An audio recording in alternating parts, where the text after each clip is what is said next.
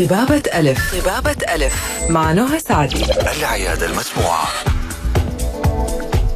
بسم الله الرحمن الرحيم والسلام عليكم ورحمة الله وبركاته. أحلى مستمعين مستمعي ألف ألف أف أم الموجة السعودية مستمعي برنامج طبابة ألف. اللي بيجيكم يوميا من الأحد للخميس بإذن الله من الساعة واحدة للساعة اثنين بعد الظهر. معي أنا نهى سعدي كل يوم بيكون معنا ضيف وموضوع مهم وشيق. ونسأل الله السلامة للجميع تستفيدوا بإذن الله من كل معلومة تنطرح في حلقتنا. اللي ما يلحق يسمع الحلقة من أولها معانا على اليوتيوب حابس على الهواء وحاب يسمعها يلحقها على اليوتيوب خلال يومين بتكون كاملة على قناة ألف ألف أف أم. فيسبوك كيك تويتر انستغرام سناب شات قناة اليوتيوب كلها على نفس الحساب. ألف ألف أف أم. حاب تسمعنا عن طريق النت وتتعرف علينا أكثر حيكون على موقعنا www.alifalifm.com معك آيفون.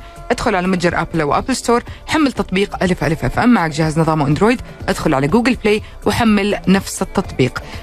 طبعا تواصلكم معنا بيكون على STC 847700 واتصالاتكم على 012 61 61 100 أو 011 21 78 585 ومن آه مستشفى الموسى التخصصي بالإحساء ومعانا على الهاتف الدكتور حسن سلامة استشاري الأمراض العصبية. وحيكلمنا عن استخدام البوتوكس في الأمراض العصبية. أول حاجة نرحب فيك دكتور حسن.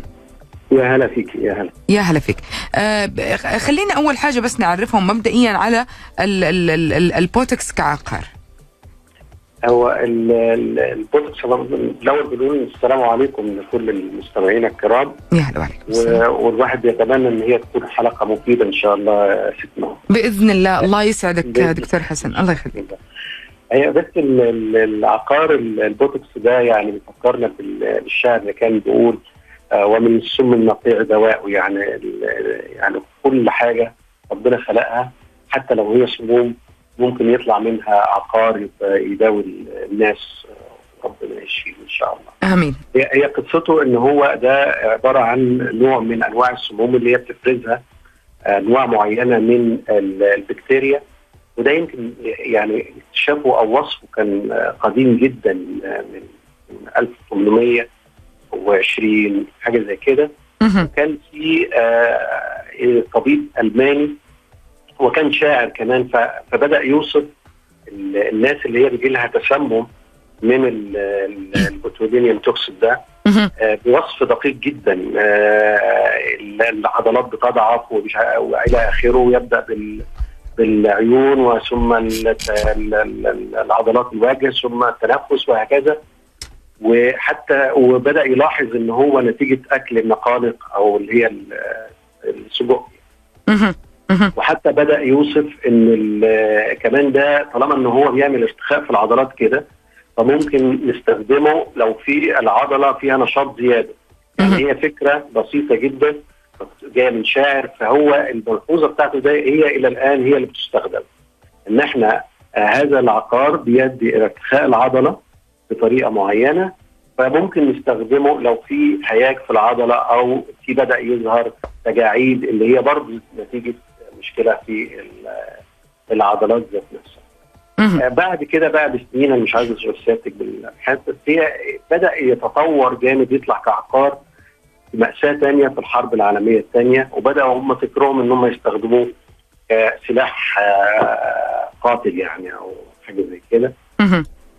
وبدأ يفصلوه بدا يستخدم من الستينات في آه علاج الحول وثم تطور إلى إن هو بدأ يستخدم حديثا في تقريبا جميع التخصصات الطبية. فهو الأساس بتاعه إن هو بيفرز من نوع من البكتيريا والانسان لو هو أصاب بهذه البكتيريا أو خد السم في اللي هي المواد الأكلات المحفوظة أو اللي هي مش مش مطبوخة كويس فبيجي له نفس الأعراض اللي هو دايما بتبدأ من فوق الشلل أو الضعف في العضلات من العينين وتنزل على الوجه وتنزل على عضلات البلع والتنفس وتنزل على على عضلات التنفس وهكذا. ده ده الخطورة بتاعته لو الإنسان أصيب بهذا الميكروب.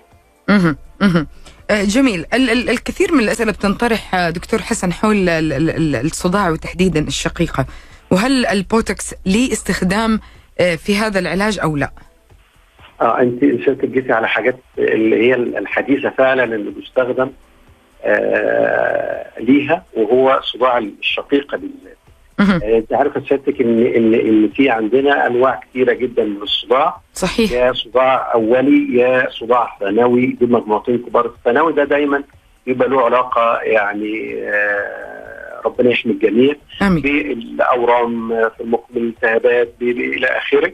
ده بيبقى ناتج عن حاجة آه، ثانوية أو نزيف جلطة في المخ إلى آخره. في صداع أولي آه، من اكثرهم شيوعا اللي هو الصداع النصفي. صحيح. آه، الصداع النصفي ده اللي هو بياخد نص الرأس. في منه أنواع أشهرهم أو اكثرهم اللي هو صداع الشقيق. صداع الشقيق يجي منتشر بصورة كبيرة جدا ما بين الستات بالذات. مهم. السيدات يعني وفي معظم الأحيان آه، نتيجة ما ما يعني هل تغير ال- life style بتاع الناس. القلق في النوم التوتر صحيح. الأكلات آه، بدأ يبقى كمان غير مستجيب للأدوية فبتلاقي المريض بيستخدم نوع ثلاثة وأربعة من آه، الأدوية عشان يعالج الصداع الشقيقة ده ورغم ذلك ما بيستجيبش برضه. ف- فبالتالي بدأ يدخل في مرحلة إن هو يتضر من الدواء ذات نفسه أكتر من الصداع. فبعض المرضى بيقولوا إن أنا بطلت صحيح. آه،. أدوية. صح صح. بدأ صح يا الأدوية دكتور. تضرني أكتر من الصداع. مع الأسف آه، نعم. فجاء موضوع ال- البوتوكس ده آه، من من ملحوظة آه، غريبة جدا. يعني هو في استخدام التجميل والكلام ده. آه، اللي هم الناس عندهم تجاعيد. فبدأوا يلاحظوا الأطباء إن أكيد اللي بيروح يعمل تجميل آه، أكيد في نسبة منهم عندهم صداع شقيق. صحيح. بدأوا يلاحظوا إن اللي بيعملوا آه، الحقن للتجميل الصداع عندهم بيقل أو بي- بي- بيتحسن. يعني فبدأ يقول يبقى هيبقى في هنا علاقة ممكن نستخدمه في صداع شقيق. جت برضه صدفة يعني فبدأ يستخدم آه، في صداع الشقيقة ونتائجه ممتازة. هي هو الميزة بتاعته إن هو ملوش آه، آثار جانبية زي الأدوية اللي بتستخدم. مهما مهما طال مدة استخدامه. مم. يعني لا، يعني ما له أثر؟ آه آه هو- في أنواع من الناس ممكن يعني تفرق تفرق إذا كان ليه اثار جانبيه عن إذا ليه مضاعفات في استخدامه. آه آه يعني هو هو له فعلا كده. هو ليه بعض ال- المضاعفات تبع مكان الحقن بتاعه.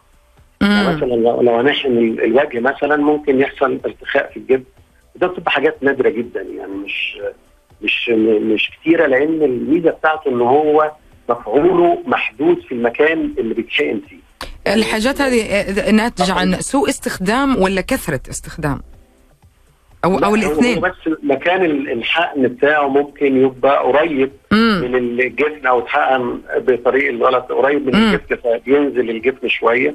واخد بالك؟ وبيرجع. يعني هي ديت الميزه برضو إن هو ال- الحاجة الحالات ديت مش مستمرة مدى الحياة لو حصل كده. فهي في خلال أسبوع اتنين بتلاقيه رجع طبيعي. ده المشكلة الأساسية. لو اتحقن في الرقبة مثلا ممكن يأثر على الصوت شوية واخده بالك؟ لو حد بيغني ولا حاجة يبقى يتأثر. ال- البلع مش عارف إيه بلاش اللي. بيغني يا دكتور الله يخليك. وحسب صوته الحقيقة نعم. فبالتالي ممكن يحصل الكلام ده. بس هي الميزة إن المشاكل كلها عابرة غير مستمرة.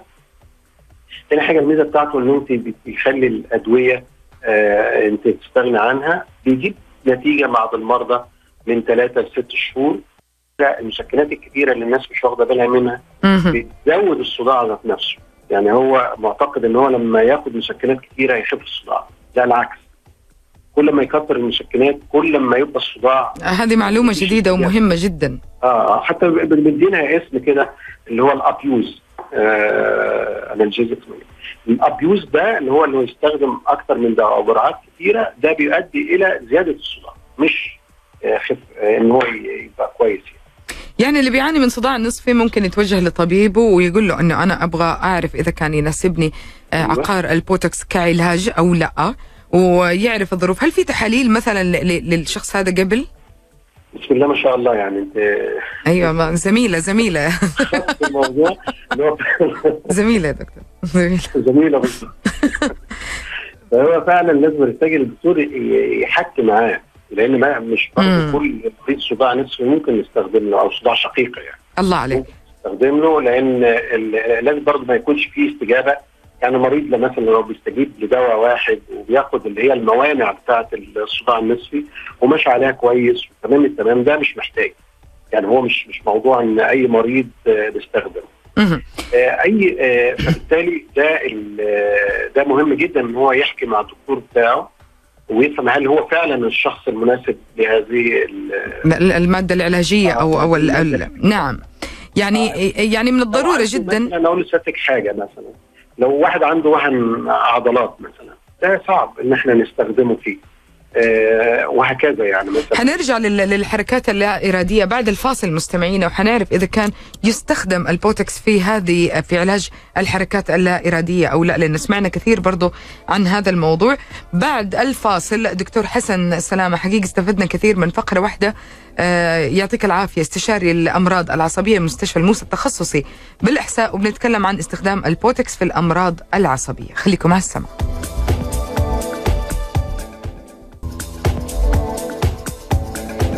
طبابة ألف. طبابة ألف. مع نهى سعدي. العيادة المسموعة.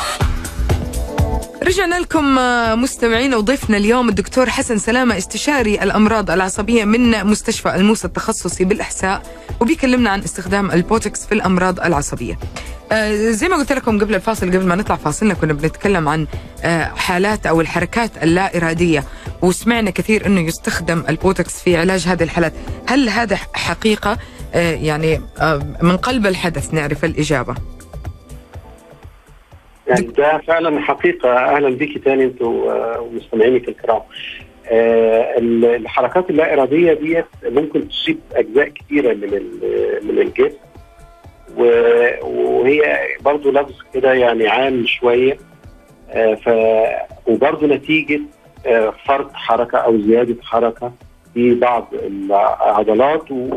ونفس الفكرة اللي قالها اللي هو اللي لاحظ ده اللي هو كيرنر ده آه إن هي برضه نفس الفكرة إن طالما إن هو بيعمل ارتخاء في العضلة نتيجة تأثيره على مادة كيميائية معينة آه بت- بتتفرز من نهايات العصب عشان تعمل انقباض في العضلة. آه ال- المادة ديت لما تبقى زي ده أو الاستجابة العضلة هي اللي بتبقى زي ده بيعمل حاجات مثلا نبدأ بالحركات الاراديه اللي هي خاصة بال- بالرقبة أو في الوجه أو ايا كان الوضع. فبالتالي بتلاقي في حركة إن هو الإنسان بدون إرادته عشان كده الحركات الارضيه بتلاقي ال- ال- العضلة ديت اتحركت فهي لو في الرقبة مثلا مثلا ناخد آه، على سبيل المثال اللي هي الديستونيا بيسموها أو الحركات الارضيه اللي هي بتحصل في الرقبة. فبالتالي الحركة ديت بتخلي الإنسان يا إما يحرك وشه اتجاه معين يمين أو يسار أو فوق أو إلى آخره بهذا انقباضة العضلة ديت أو الانقباض المستمرة للعضلة. بالتالي لما لما معظم الأدوية اللي إحنا بنستخدمها لها مشاكل كتيرة جدا جدا بالنسبة للنوع ده يمكن حتى يعني أنا قلت لك المشكلة بتاعت الصداع الش- الشقيقة ده اللي هو أقصى حاجة يعملها اللي هو الأوفر يوز يعني يستخدم أدوية صحيح. كتيرة وحاجات زي كده انما الادويه ديت آه، بتعمل مشاكل في درجة التركيز في في في بيحصل نشفان ري إلى آخره في الادويه اللي بتستخدم في مثل هذه الحالات نعم وال- والكلى وال معينة نعم ما نعم. نستخدموش تفضل دكتور حسن. آه في مرضى معينين ممكن ما ما نقدرش نستخدم فيهم الأدوية ديت لو هو في مشاكل في القلب في مشاكل في آه، موضوع ال- التحكم في البول إلى آخره. فده يعتبر آه، علاج مثالي جدا ليهم لأنه آه، الم- المريض ذات نفسه بياخد مرة أو اثنين حقنه ممكن يتحسن بعديهم بعد مرة أو اثنين أو ثلاثة وتبدأ ويبدأ شكله وطريقة آه، طلته على الناس إلى آخره ده بتفرق كتير جدا لل- للمريض.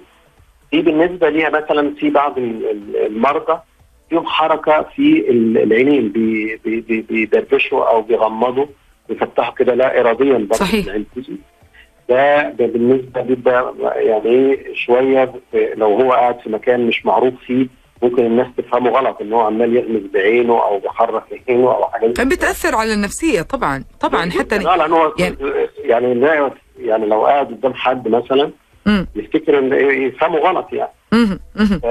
دي بتعمل في فعلا زي ما سيادتك بتقولي كده انت فعلا جميلة فعلا. الله يخليك كده فعلا بايه بي- بيتأثر عليه آه، نفسيا وده برضه آه، بيتحقن. في بعض الناس بيجي لها آه، سواء التهاب في العصب السابع آه، وبيجي بعديها برضه حركات في شد في الوجه تماما. تقريبا دي بتأثر نفسيا على بعض المرضى حتى بعض مزعجة. نعم نعم. خدوا إن هم يخرجوا ياخدوا أجازة ورا أجازة إنهم بقى يعني منظر آه، غريب.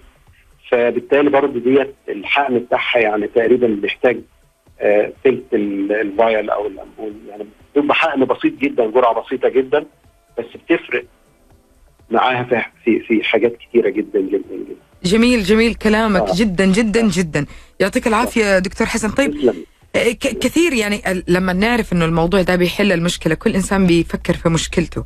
آه، يمكن هذه الأشياء اللي كانت مطروحة مؤخرا كثير لكن آه، ما نعرف يعني إذا كان لي استخدامات علاجية أخرى آه، عقار البوتوكس. فحابين نتعرف من حضرتك عليها. في استخدامات أنا زي ما قلت لسيادتك ان هو يعني من من الثمانينيات يعني بدأ يستخدم ويمكن من سنة 2000 بعد 2000 بدأ استخداماته. في آه، أشياء كتيرة جدا جدا يعني في بال- بالنسبة لنا آه، الناس اللي عندها تيبس آه، تيبس في العضلات. نتيجة إن هو في بعض الأطفال بيحصل لها مشاكل في المخ إلى آخره بيحصل لهم تيبس في ال- ال- الأطراف فبالتالي حتى بيبقى الخدمة بتاعتهم صعبة إن هو يغيروا لهم ال diaper أو إلى آخره فبيبقى الخدمة بتاعتهم صعبة جدا. التيبس اللي هو بعد مثلا نزيف في المخ أو شلل. التيبس نتيجة التصلب اللويحي آه، ال- الحركة بتبقى صعبة جدا. نتيجة التيبس بتاع ال- العضلات ذات نفسها. آه، ده حل لهم المشكلة ديت برضه لأن معظم الأدوية عشان تدي دواء بيرخي مثلا. على سبيل المثال لو طفل عنده تيبس بتدي مثلا دواء يرخي العضلات. هو مش بيرخي الجهه اللي هي فيها التيبس بس لأن بتديه عن طريق الفم. فبيمتص فبيأثر على الجهتين. لو كان عنده تيبس في الناحية ال- في الجهة اليمين أو الجهة اليسار فبالتالي بيعمل ارتخاء في في الجهتين فبيبقى الحالة بتاعته شوية أصعب لأنه بيعمل ارتخاء في الجهة اللي هي سليمة أو أو الأطراف الصحيحة يعني. بتعمل مشكلة أكتر. العقار ميزته إن هو بيشتغل على ال- العضلة اللي فيها تيبس فقط فبالتالي بيخليها ترتخي يحسن الحركة بتاعت المريض باستخدامه لليد أو ال- أو ال- القدم ويبقى في تحسن من غير ما يحتاج آه، أدوية معينة وخصوصا إن هم آه، سواء أدوية الجلطات والنزيف في المخ معظم المرضى بيبقى في مشاكل في القلب والكلى وحاجات زي كده. نعم. فبيبقى صعبه جدا. آه جميل. طبعا إحنا بعد الفاصل اللي جاي يا جماعة حنرجع لكم وحيكون في آه آه، في استقبال اتصالاتكم على صفر واحد اثنين واحد وستين واحد وستين مية أو صفر واحد واحد اثنين واحد سبعة ثمانية خمسة ثمانية خمسة. آه، دكتور حسن يمكن جا... حاجة بسيطة جدا. كمان في آه، ستات بيعانوا من التعرق في الايدين والرجلين وحاجات زي كده الافرازات تعرق كثيره جدا. ده له استخدام هائل برضه ل آه، ل- ل- لدي الظاهره الخطيره اللي هي بتقلق ناس كثيره جدا. ايديها ورجليها بتعرق أو خصوصا إحنا داخلين على الصيف فتلاقي في آه، في علاج ليهم بالبوتوكس طب آه، دك... دكتور حسن إذا كان في أعراض جانبية كمان لازم نعرفها آه، يعني إيش إيش الحاجات اللي حابة تسلط الضوء عليها؟ هو هو ال- ال- أخطر أعراضه إن هو يحصل منه حساسيه بس. يعني هي ديت الحاجة الوحيدة الموصوفة تبقى خطيرة جدا إن هي يحصل منه زي أي عقار بتا... الإنسان بي... بي... بي... بي- بيستخدمه فممكن يحصل آه، منه حساسية. غير كده أنا قلت لسيادتك تبع المكان اللي هيتحقن فيه ممكن يحصل أعراض تبقى أعراض عارضة. طب هل في في في اختبارات مثلا. عشان آه، تحل مشكلة الحساسية؟ خلينا نقول اللي هي أول مشكلة ذكرتها. هل في اختبارات قبل استخدامه كمادة علاجية تبين إذا هذا الشخص حيتحسس منه أو لا؟ هو هي عشان نادرة شوية. فبتبقى صعبة. إنما لو هو الإنسان مثلا عنده مثلا إن هو تاريخ المرض عنده حساسية من أنواع معينة من الأدوية والحاجات دي بتتاخد بحذر ممكن تحل. مبدئيا الكمية قليلة ويتشاف ال- الاستجابة بتاعته. ده يعني ال- اللي هو ممكن يتعمل لل- لل- المرضى دي جميل جميل. آه طيب إحنا هنطلع فاصل مستمعينا وبعد الفاصل مكملين معاكم وحنعرف إذا كان المريض يحتاج للحقن عدة مرات أو لا واية حالات اللي إذا كان إيوه ممكن يحتاج فيها للحقن أكثر من مرة. خليكم على السمع زي ما قلت لكم. حنبدأ في استقبال اتصالاتكم والإجابة على كل استفساراتكم على صفر واحد اثنين ستة واحد ستة واحد واحد صفر صفر أو من الرياض على صفر واحد واحد اثنين واحد سبعة ثمانية خمسة ثمانية خمسة. خليكم على السمع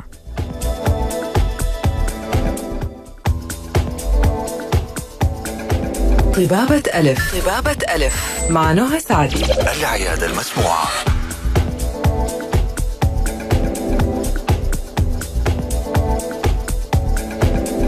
مكملين معكم ومستمرين. وضيفنا اليوم الرائع دكتور حسن سلامة استشاري أم- الأمراض العصبية. بيكلمنا عن استخدام البوتكس آه، في الأمراض العصبية من مستشفى الموسى التخصصي بالإحساء ويعني آه، وصلنا يعني ما شاء الله عليه يعني ما قصر معنا وجاوبنا على أسئلة كثير. كمان معلومات إضافية إن شاء الله تكون فادتكم. أرجع أذكركم أنه إحنا في استقبال اتصالاتكم على صفر واحد اثنين ستة واحد ستة واحد واحد صفر صفر آه ومن الرياض على صفر واحد واحد اثنين واحد سبعة ثمانية خمسة ثمانية خمسة.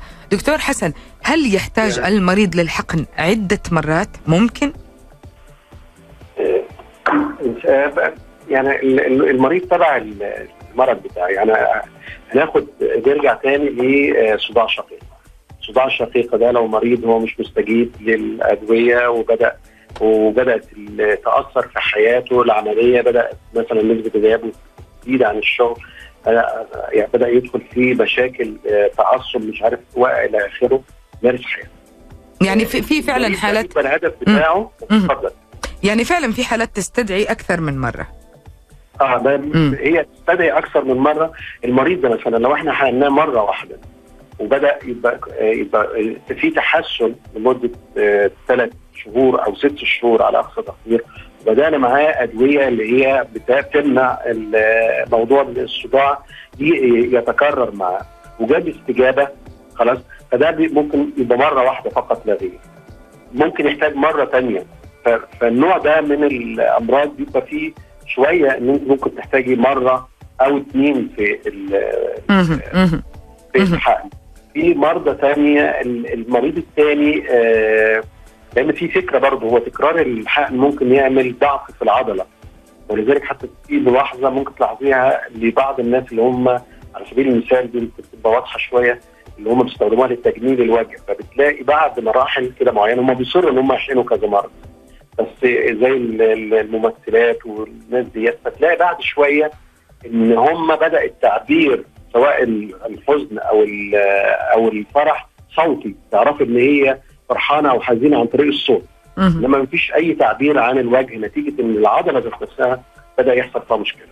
فكتر الحق ممكن يؤدي إلى آه، ضمور في العضلة أو تليف في العضلة. فبيستحسن ان هو ما يبقاش فيه حقن كتير. أنا شفت المنظر ده كثير حتى آه لأن معظم المرضى بيحتاجوا ثلاث مرات حقن في الغالب لبقية الأمراض. بس لكن مو أكثر. الأمراض بيبقى السبب بتاعها موجود. يعني واحد عنده تيبس مثلا نتيجة آه آه، نتيجة نزيف أو جلطة أدت إلى آه، يعني آه، إلى إلى تهتك في أو خسرانه للخلايا المخ ده ما بتتجددش تاني.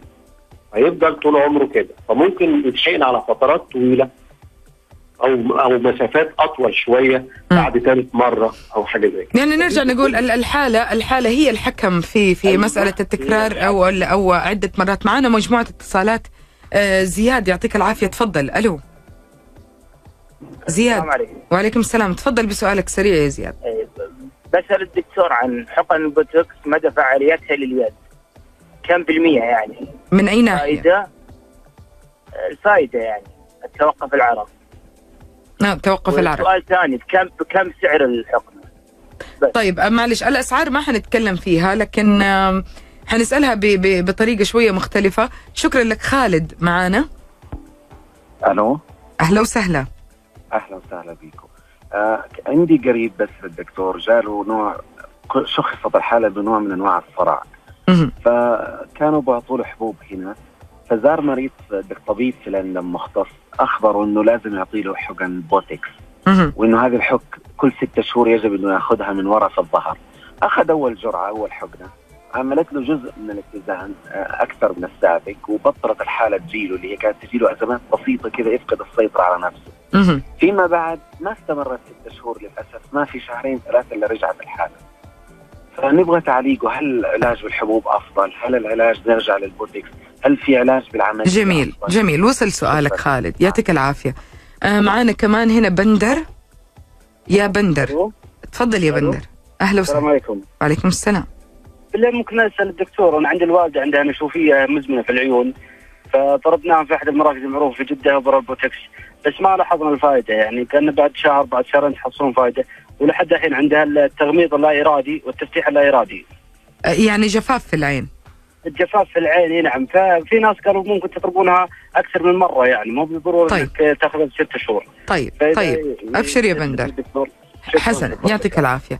أرجع أقول لكم اتصالاتكم على صفر واحد اثنين ستة واحد ستة واحد واحد صفر صفر ومن الرياض على صفر واحد واحد اثنين واحد سبعة ثمانية خمسة ثمانية خمسة. آه يمكن ال- ال- السؤال الأول كان من زياد مدى فعالية آه ال- ال- البوتوكس في في في, في مسألة التعرق أو فرط التعرق أو أو ما شابه يعني؟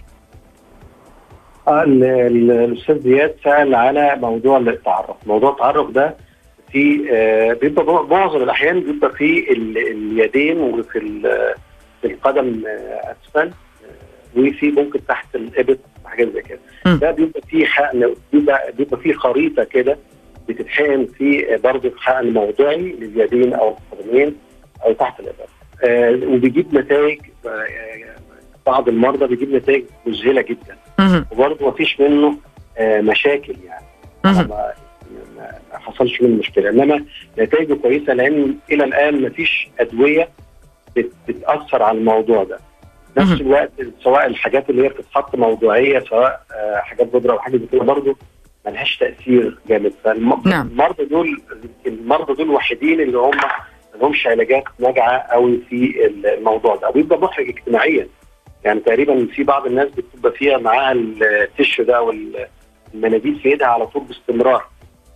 لو في stress ولا أي شيء بيزيد التعرض الشق الثاني من ال- ال- السؤال يمكن حنصيغه بس بطريقة مختلفة. هل ممكن نعتبر عقار البوتوكس من العلاجات عالية التكاليف ولا لا؟ دكتور حسن من وجهة نظرك. إيه، طيب هو هو دايما في في الخارج بي- بي- بيحسبوها بطريقة تانية التكاليف بتاعته. اللي التكاليف بتاعته بالنسبة للمريض نفسه الأدوية اللي بياخدها مدى تأثير المرض عليه كعمل وغيابه عن العمل وإنتاجه إلى آخره لو أنت هتحسبي مين هذا ال- هذه التكلفة اللي المريض بيتكلفها أو الدولة بتتكلفها ومقارنة بالعقار ذات نفسه هتلاقي ال- العقار بالن- بالنسبة لهم رخيص جدا. يعني بس نوزن الموضوع في التكلفة إزاي بتتحسب مش كدواء يعني مكلف أو غيره. نعم آه طيب هنا الأخ خالد فكان بيتكلم عن آه، قريب لي عنده نوع من أنواع الصرع وكان بياخد آه، حبوب كانت جيدة. بس بعد كده ال- البوتكس ورجع ثاني في خلال شهرين قالوا له خلال ستة شهور ورجع ثاني بعد البوتكس رجع ثاني بيعاني من نفس المشكلة. هل تتكرر العملية أم يرجع للعلاج الدوائي؟ ما سمعتش الأستاذ خالد. عفوا؟ ما سمعتش الأستاذ خالد. كان هو استخدم البوتوكس ليه؟ حالة صرع. استخدمها عشان علاج صرع؟ نوع من أنواع الصرع نعم. لا ما ما أعرفش إن هو بيتعالج لعلاج الصرع جايز هو أنا سمعته بيتكلم عن آلام في الظهر وحاجات زي كده خالد. لا رجعت نفس ال كانت ال... بيقول كان بياخذوا العلاج عن طريق الظهر الإبر كان بياخذها في ظهره. آه آه ما هو بقول لك ممكن جايز يكون في آلام هو مريض صرع. نعم. عشان كده ب- هو مريض صرع؟ أيوه. آه فهو العلاج بقى بالظبط نرجع تاني للادويه اللي هي بتتعالج للآلام وال- وال- والتيبسات والكلام كل ده ده بتزود نوبات الصرع فبالتالي بنخاف نديها مع علاجات الصرع. آه، فبنستخدم البوتوكس في الحالات ديت سواء آلام سواء تيبس آه، آه، إلى آخره. ده ممكن يستخدم في ال- الحالات ديت بيبقى safe عن كده. ممكن يتكرر زي ما قلت سيادتك إن هو الفعالية بتاعته من ثلاثة لست شهور. يعني برضه ما حدش قال إن هو ممكن يستمر مدى الحياة. أيوه أول ستة شهور كاملة. يعني أنا آه، نتيجته كويسة. أي يعني ربما أيوه ربما بس يحتاج اعاده إعادة تشخيص آه، وتأهيل علاجي والله أعلم لأنه يمكن فعلا الحالة ما كانت واضحة. لو تقدر تتواصل معنا خالد مرة ثانية بندر بيقول بالنسبة لوالدته الله يشفي له هي يا رب إن شاء الله ويقوم السلامة. آه، يعني عندها جفاف مزمن في العين وحركة لا إرادية في الجفون. آه، وأخذت ال- ال- ال- ال- العلاج وبيرجع ثاني. فهل تكراره في مشكلة أو يقدر يكرر لأنها ارتاحت واضح؟ هي هي الحركة ممكن حركة العين ذات نفسها بتبقى كتيره في الناس اللي عندهم جفاف. فهي لازم يبقى النوع ده هو من المرضى بيبقى له حق من طريقة معينة بحيث إن هي برضه تدي تحسن. بس تاني إن هو التحسن لفترة زمنية. دي مشكلة البوتوكس إن هو بيدي بيدي تحسن لفترة معينة خصوصا الأمراض اللي لها آه، سبب مزمن. آه فيعني مش مش حل نهائي ليهم. ممكن من ثلاثة لست شهور يبقى في تحسن كويس جدا يعني للمرضى. زي ما قال لك دكتور حسن في أول الحلقة حكي مع دكتورك وقول له إذا ممكن آه، يتكرر العلاج أو أو حاجة زي كذا بالظبط لأن في حالات كتيرة جدا ما بنحتاجش حقن مرة ثانية ولا ثالثه وفي بعض الأحيان بنحتاج مرة واثنين وفي بعض الأحيان طبعا هذا ممكن من باب إنه تكون الحالة تعالجت أو ما ناسبها العلاج. بالظبط آه طيب. آه خلينا نسألك دكتور حسن إذا كان ممكن يستخدم البوتوكس آه في في بداية أعراض الأمراض ولا هو يعتبر من الأسلحة اللي هي تعتبر آخر سلاح علاجي يعني من الأواخر ولا من أول العلاجات اللي تنطرح؟ يعني نرجع تاني لمثلا الحركات اللا اراديه في في ال- في الرقبة أو في بعض المرضى بيجي مثلا مع إن هو يكتب مع الكتابة يحصل يحصل له حاجة زي الحركات اللا اراديه في اليد والاصابع اللي بيكتب بيها فبالتالي ما يقدرش يكمل فده بيأثر عليه درا- في الدراسة إلى آخره ده من الأول الأصول يستخدم البوتوكس لأن معظم العلاجات مش هتجيب نتيجة معاه كويس مهم. تمام وبيبقى لها تأثير في زي ما قلنا في درجات التركيز إلى آخره. آه، صداع الشقيقة لازم يكون جرب أدوية لمنع الصداع آه، الأول ما, ما نقدرش نستخدمه آه، من آه، أول آه، أعراضه أو أو إلى آخره إلى بدري يعني. آه، في بعض المرضى أنت محتاجة ان انت تستخدمي الأول لو هو معاه أمراض ثانية مش قادرين نستخدم آه، فيها ال- آه، ال- ال- الأدوية اللي هي بتؤدي إلى ارتخاء عضلات أو آه، أو آه، مسكنات أو إلى آخره ده ممكن نستخدمه في الأول يعني لو في مريض مثلا حتى لو عي- عيان شقيقة وعنده مشاكل في الكلى أو الكبد. آه، على سبيل المثال ممكن نستخدم له ده من الأول وخلاص. جميل. في مرونة في مرونة. ملاحظ إنه في مرونة في استخدام البوتوكس سواء من ناحية التجميل أي نعم. أو أو في مثلا خلينا نقول في التجميل أو في غيره. لكن عموما إحنا بصفة عامة دائما نقول لازم استشارة الطبيب لازم يكون هو المتابع. والزايد أخو الناقص ما في حاجة اسمها إنه أنا شفت هذا العلاج مناسب أقوم أزيد فيه أو أو العكس تماما. خلينا نطلع فاصلنا مستمعينا ونرجع على طول. خليكم على السماع.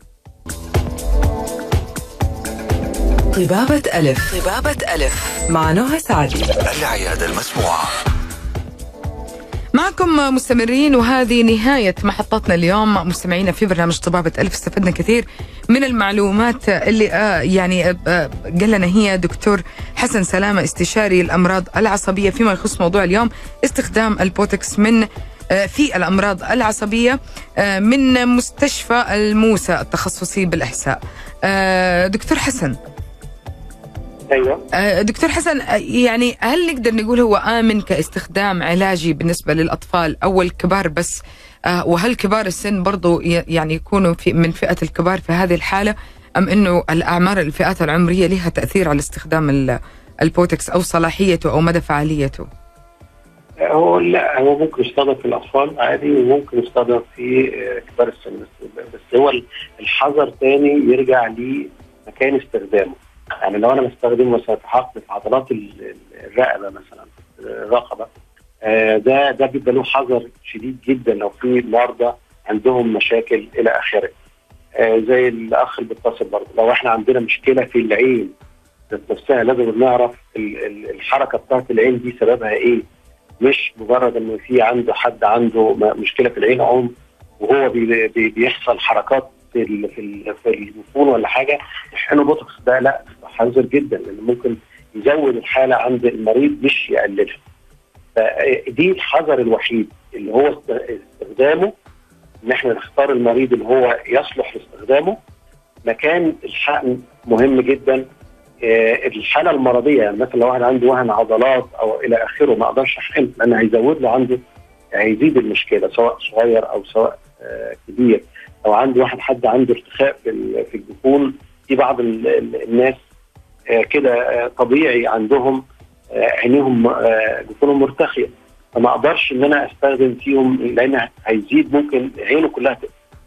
فبالتالي في حذر معين بالمرضى أكتر شوية تبع المكان الحقن والحاله المرضية بتاعت ال- المريض. لأن ممكن أزيد له الحالة المرضية بتاعته. بالحق. طيب آه المريض اللي بياخذ أو أخذ البوتكس هل في عناية خاصة به أم إنه شخص عادي جدا يعني؟ لا هو هو بس في عناية في الأول يوم بعد ال- الحق إحنا بن- بن- بننصحه بنصائح إن هو مثلا ما. ما, مثلا لو هنحقن الوجه على سبيل المثال ما يكونش قريب من أي حاجة فيها درجة حرارة عالية آه ما ي... ما يضغطش على الجلد بتاع مكان الحقن أو إلى آخره ما. يسيبه. آه ما يستخدمش مية آه سخنة أو ما أو آه مواد تنظيف أو حاجة زي كده زي الكحوليات والحاجات زي دي آه في خلال ال 12 ساعة الأولانيين مثلا على أقصى تقدير يعني. آه ممكن ما يوطيش قدام شوية كتير أو هو حقن الوجه أو إلى آخره. ففي شوية نصائح هي مجرد ممكن تكون ال 24 ساعة الأولانيين ست ساعات الأولانيين إلى آخره. طبعا مكان الحقن بتاعه دي الحاجة الوحيدة اللي ممكن آه، ننصح بيها المريض. إنما غير كده ما فيش مشاكل يعني. جميل. أذكركم مستمعينا أن اتصالاتكم على صفر واحد اثنين ستة واحد ستة واحد واحد صفر صفر ومن الرياض على صفر واحد واحد اثنين واحد سبعة ثمانية خمسة ثمانية خمسة مرة أخرى. صفر واحد اثنين واحد وستين واحد وستين مية أو صفر واحد واحد اثنين واحد سبعة ثمانية خمسة آه، ثمانية خمسة. هنا في آه، سؤال آه، دكتور حسن بتقول إنه أنا ذهبت لطبيب واستخدمت البوتكس كمادة تجميلية يعني وقال لها كل ستة شهور تيجي تكرريها. في خطأ في هذا الموضوع أو لا؟ تاني برضه أنا عايزين ناخد صورة في ناس مشاهير جدا استخدموا البوتوكس فترات طويلة. واخد بالك؟ أنا عايز الناس دي تتفرج عليهم هتلاقي تعبيرات وشهم غير موجوده على الإطلاق. أنا بقول لك إن أنت ممكن تعرفي الواحد فرحان ولا زعلان ولا مش عارف عن طريق الصوت بتاعه. يعني الصوت بتاعه لو بيضحك يبقى هو فرحان. لو هو مثلا بيبع- بيبكي صوت البكاء ممكن تعرف إن هو آه غضبان. انما تعبير ال- ال- الفرحه والحزن واللي قدامه بيبدا يتضايق لأنه مش عارف أصلا الاستجابة بتاعت وشه إيه. يعني أنت عارفة في تعبيرات للوجه مهمة جدا في لما الناس بتتكلم بعض. في تعبيرات للوجه ممكن تغنى عن كلام كتير جدا. صحيح. كتر ال- الحقن البوتوكس في الوجه بيفقد هذه التعبيرات. فأنا برضه يعني جايز دي بتختلف من إنسان لإنسان أو إنسانة لإنسانة. بس أنا مش شايف أي وزن لأي علاج يفقدني هذه ال- الميزة اللي ربنا خلقها. آه وكل زي ما بنقول كده كل سن له جماله. ممكن يتحقن في مكان أماكن معينة آه، تدي جمال صحيح إنما ما تأثرش على تعبيرات الوجه هي ديت النقطة اللي هي بس تلاحظها ل- لأن معظم تكرار الحقن بيعمل لي مشاكل لأن العضلات بتاعة ال- الوجه ضعيفة جدا. فبالتالي لما بيحصل بتحصل مشكلة مستمرة معاه. كتر ال- الحقن فيها فممكن يبقى بعد مرة اثنين آه، ممكن تتحقن في أماكن معينة آه، زي الجبهة مثلا مثلا لو في ناس عندهم ما بين الحاجبين كده اللي هم الناس اللي هم دايما مكشرين دول أو اللي هم زعلانين دايما واخده بالك فممكن يتحقن في الأماكن ديت هتدي شوية آه، بهجة للوجه إنما مش هتفقدها تعبير الوجه. هي دي بس النقطة الوحيدة اللي ممكن ننصحها بيها يعني. طيب آه هنا في سؤال بالنسبة للصداع النصفي هل ممكن يكون البوتكس علاج دائم من مرة واحدة ولا هو يعني إنه زي يتهيألي اللي بيسألوا إذا كان جدول أو أو مجموعة من العلاجات؟ جدول؟ يعني يعني أكثر من مرة ياخذوا آه لا لا أو- أنا بقول هو هو الصداع النصفي يمكن من أحسن الحاجات اللي بيستخدم فيها.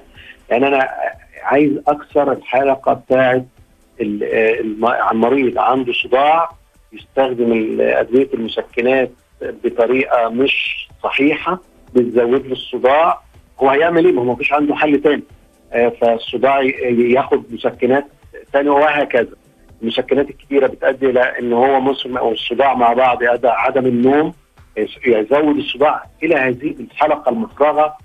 فاحنا بنيجي نكسر الحلقة ديت من أو الدايرة المفرغة اللي هو داخل فيها. فبالتالي بيرجع عادي اتليست يعني على أقل تقدير لطبيعة الصداع اللي كان عنده قبل كده. فباقل الأدوية اللي هي تمنع الصداع اللي هو ممكن يستخدمها لمدة شهور ملهاش مشاكل جانبية كتيرة. ممكن نستغنى عن البوتوكس ممكن في الحالة دي استخدمها واحدة. بعض دي خبرات برضو شخصية برضو ما تقدريش تعمميها إن في بعض الناس أخذت مرة أو اتنين و- وخفوا تماما حتى بدون أدوية صداع وقعدوا فترات طويلة سنتين ولما رجع لهم الصداع تاني. يعني ممكن قعدوا فترة طويلة جدا. آه، فدي بتبقى individualized يعني من, إنسان لإنسان مختلفة. بس عموما هي دي الفكرة بتاعت البوتوكس الصداع النصفي إن أنا أخفف أو أمنع الصداع لفترة بحيث لما أرجع للأدوية المعتادة اللي هي تمنع الصداع النصفي هتلاقي في استجابة كويسة جدا ليها ممكن المريض يستخدمها. طيب في سؤال كمان. جدا. مم. ممكن ما يستخدمش ادويه في سؤال كمان بيقول هل يتعارض البوتكس مع أي نوع من أنواع العلاجات الأدوية الأخرى أو لا؟ في ك... ك... لا لا لا خالص. ما فيش ما فيش علاجات يتعارض معاها غير قلنا لو هو في آه، في بعض الأمراض اللي إحنا خطر إن إحنا نستخدمها معاها في ان ده العلاجات دي تتعارض معاها فقط لا غير. زي ما بقول لك وهن عضلات آه، في مشاكل في مشكلة البلع إلى آخره. ده هيتعارض كتير جدا مع ال- البوتوكس الادويه اللي بياخدها جميل. السؤال لا، الأخير معنا هنا. عموما ال- البوتوكس هو حقن في عضلة ويفضل في العضلة موضعية. يعني هو ما بي ما لا بيروح الدم حتى لو راح بيروح قليله جدا ما بيروحش ال- الدم ولا بي بي- بياخد الدورة الدموية يوصل لبعض الأعضاء فهو في المكان اللي اتحقن فيه يفضل في المكان اللي اتحقن فيه آه، السؤال الأخير هنا دكتور حسن معنا هل هو آمن آه، استخدامه المرأة الحامل أو لا؟ ديت مشكلة كبيرة جدا ليه؟ لأن الإنسان بعيد عن التجارب هي دي المشكلة الطبيه في أي دواء على فكرة مش على قد البوتوكس يعني ال ال ال بعيدة جدا عن التجارب. بمعنى إيه؟ بمعنى إن أنا ما أقدرش آخد مثلا 100 سيدة حامل وأديهم عقار البوتوكس وأجرب عليهم و100 تانيين مش هجرب عليهم عقار البوتوكس. وبعدين بعد كده بعد الولادة هشوف هل في مشاكل في الجنين ولا لأ. ده ethically اخلاقيا غير مقبول. استحالة. دي حاجة. لما تيجي تجربي على الحيوانات برضو ما نقدرش ننقل التجربة لأن. ممكن يختلف الاستجابة بتاعته مختلفة.